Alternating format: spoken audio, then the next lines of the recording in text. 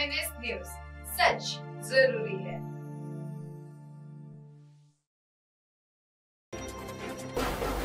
दर्शकों, नमस्कार, मैं पूजा, आप देख रहे हैं एमएनएस न्यूज़ आइए देखते हैं आज की खास खबर।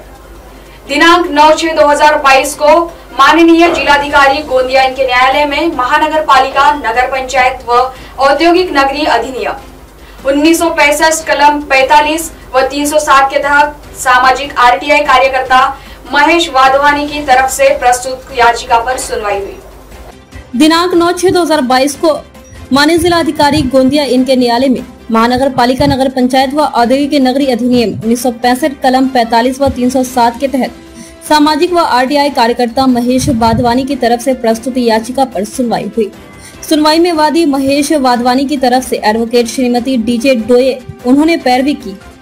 वहीं पूर्व पार्षद गोपलानी की तरफ़ से एडवोकेट विश्वास ने अपनी लेखी जवाब दाखिल किया। सुनवाई के दरमियान माननीय जिला अधिकारी श्रीमती नैना गुंड, इन्होंने कर अधिकारी द्वारा दाखिल अहवाल व याचिका का संज्ञान लेते हुए मुख्य अधिकारी नगर परिषद गोंदिया।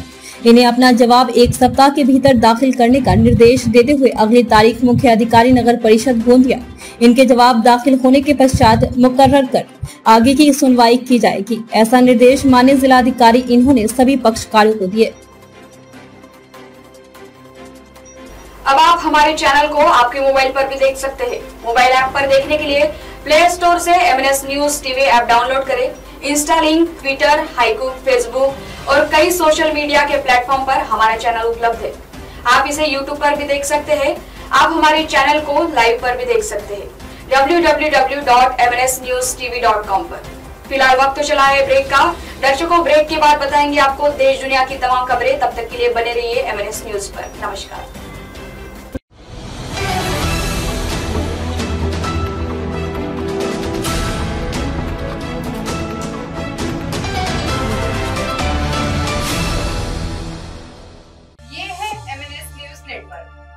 देख रहे हैं